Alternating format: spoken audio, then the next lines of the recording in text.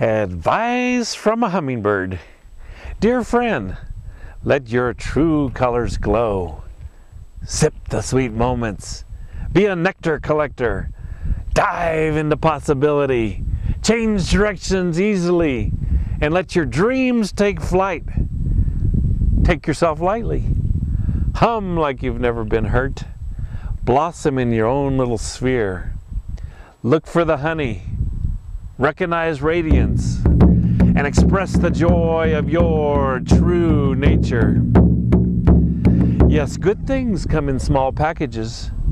Don't let your feathers get ruffled over the little things. And yes, some days are just a humdinger. Zoom in when you're needed. Sometimes you can just wing it. Keep your visits short and sweet. Ilan Shamir, your true nature.